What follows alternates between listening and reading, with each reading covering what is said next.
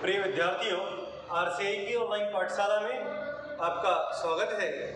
आप देखिए, यदि ए बी सी समांतर श्रेणी में है, तब आपको ये बताना है कि ये समांतर श्रेणी में है या गुणोत्तर श्रेणी में है, या हरात्मक श्रेणी में है, या फिर किसी में भी नहीं है।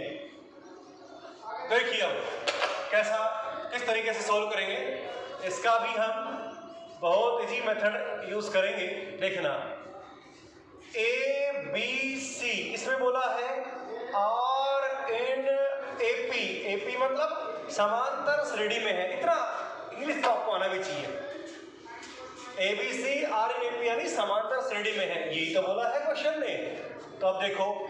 One two three are in A P तो आप क्या लिखोगे? देखिए क्या लिखोगे? A equal to one B equal to two C equal to three. यानी आपने ए, बी, सी के मान रख दिए पहला पहले के बराबर, दूसरा दूसरे के बराबर, तीसरा तीसरे के बराबर। अब आप इस लाइन को लिखिए। B, C upon C A plus A B. C A upon B C plus A B.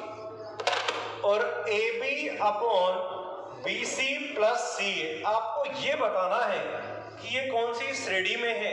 तो आप एक मान रखो यहाँ पर। देखो two into three upon C A तीन गुणा एक प्लस एक गुणा दो। कंप्लीट उसके बाद ये मैं एबीसी के मान रख रहा हूँ केवल इसमें। और सी ए देखिए, तीन गुणा एक अपॉन दो गुणा तीन प्लस एक गुणा दो, ऐसे ही एक गुणा दो अपॉन दो गुणा तीन प्लस सी ए का वैल्यू थ्री इंटू वन। ये आ गया आपके पास। अब इसे आप सिंपल कर सकते हैं। थ्री टू ज़ा सिक्स अपॉन में। क्या आया? तीन, दो, पाँच। उसके बाद देखिए, तीन बटा छ प्लस दो आठ, और यहाँ पे क्या आया दो बटा छ और तीन, नौ। अब ये आपको बताना है कि ये कौन सी श्रेणी में है तो देखिए।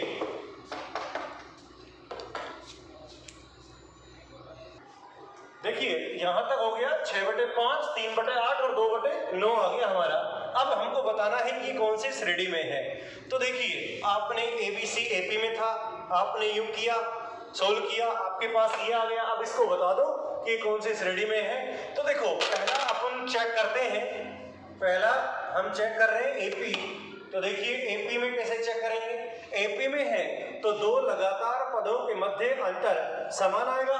तो क्या किया? तीन बटे आठ माइनस छह बटे पाँच। वो किसके बराबर आना चाहिए? दो बटे नौ माइनस तीन बटे आठ के बराबर होना चाहिए। यही तो कंडीशन है। तो अब उसके बाद सोल्व कर लो। ये आपका चालीस एलसीएम आया तो ये पंद्रह हो गया।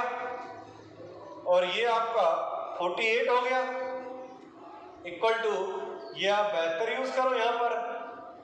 तो 16 माइनस सत्ताईस तो ये देखिए क्या आया आपके पास।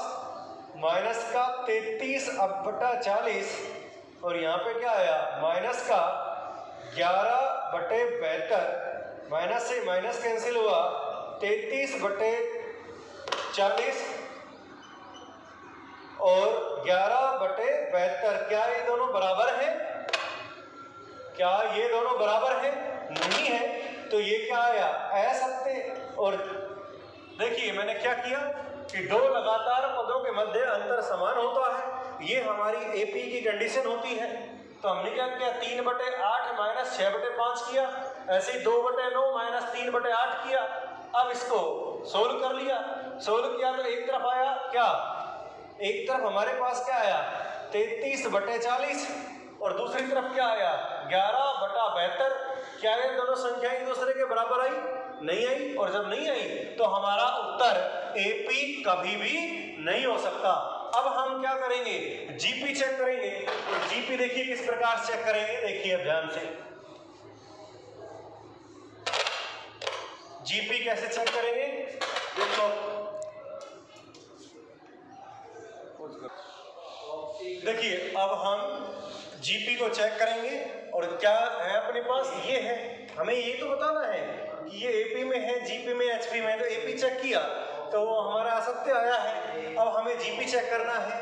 तो जीपी में क्या होता है? अगले पद में तुरंत उसके पिछले वाले का भाग देना पड़ता है और वो क्या आना चाहिए? सब बराबर। तो कहने का मतलब है कि जीपी को कैसे चेक करोगे? तीन बटे आठ में किसका भाग दोगे? छ बटे पाँच का। ऐसे ही ये किसके बराबर आना चाहिए? दो बटे नौ में किसका भाग दोगे? तीन बटा आठ का। तो ये आपने सीखा होगा। क्या कर देते हैं? पाँच बटे छ और ऐसे ही दो बटे नौ गुणा आठ बटा तीन कर दो। अब इसको सोल्व करो। तो पंद्रह बटे अड़तालीस। और ये क्या आ गया? सोलह बटे सत्ताईस। क्या ये दोनों बराबर हैं? देखिए, इसको आप थोड़ा सा सोल्व कर लो। तीन से कट गया, पाँच बटा सोलह, और ये क्या आ गया? सोलह बटे सत्ताईस, और ये दोनों बराबर नहीं है, इसलिए ये भी क्या हुआ? ये भी क्या है? फॉल्स ये भी क्या है? फॉल्स है मतलब असत्य है। तो आपका आंसर जीपी भी नहीं हो सकता। अब आपने एपी चेक कर लिया। जीपी चेक कर लिया। अब किसका बारी है? एचपी का। तो एचपी को देख लो, कैसे चेक करोगे? एचपी को चेक करने के लिए, देखो, एक बात मैं आपको बोल दूँ कि इनको चेक करने के लिए अदर मेथड भी है, जो आपको मैं ऑफलाइन क्लास में बताऊँगा। लेकिन अब मैं आपको बिल्कुल सबसे आसान तरीका बता रहा हूँ। फिर देखिए आप, अगर ये एचपी में है तो इसका रेसिप्रोकल करो। इसका विक्रम करने पे किस पे आएगा? एपी में आएगा। एक मिनट के लिए सोचो। कि एचपी चेक कर रहे हैं तो हमारा कंडीशन क्या आना चाहिए नीचे का? सत्य आना चाहिए? तो मैं आपको एक बात बताता हूँ कि छः बटे पाँच, तीन बटे आठ और दो बटे नौ, अगर ये HP में है, आप मान लो HP में है तो क्या सत्य होना चाहिए कि इनका वितरण करने पर क्या आना चाहिए? AP आना चाहिए। तो देखिए, आठ बटे, देखिए AP क्या होगा? पाँच बटे छ आठ बटे तीन और नौ बटे दो किसमें आना चाहिए? AP में आना चाहिए। अब आप जीपी चेक ना करके, आप एपी चेक कर लो।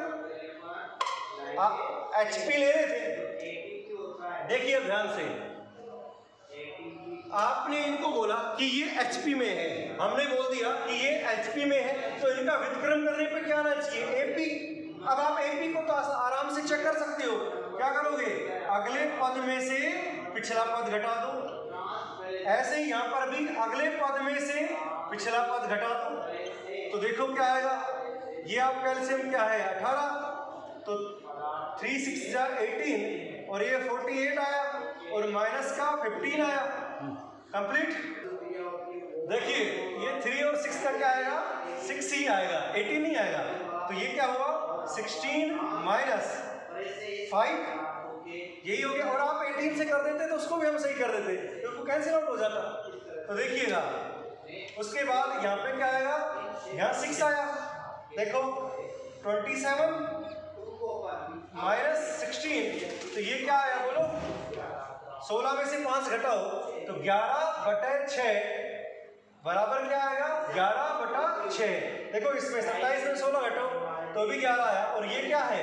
सत्य है तो अपना आंसर कौन सा होगा? ये होगा। अब एक बार आप दोबारा समझो इस चीज़ को। भाई, हमने मान लिया कि ये तीनों किसमें है? एचपी में है। तीनों को हमने एचपी बता दिया। अब इसका विक्रम करोगे तो क्या आएगा? एपी में आएगा। तो इसका उल्टा कर दो। पाँच बटे छः, आठ बटा तीन और नौ बटा दो। अब ये हमारा एपी में है। अब एपी में हम इसको सही मान रहे हैं तो सार्वंत्र समान आना चाहिए। सार्वंतर देखा समान आ गया, इसका मतलब हमने जो कॉन्सेप्ट यूज़ करी, वो बिल्कुल सही थी। तो उत्तर क्या आया? एचपी इस तरीके से हमने इस क्वेश्चन को सोल्व कर दिया है।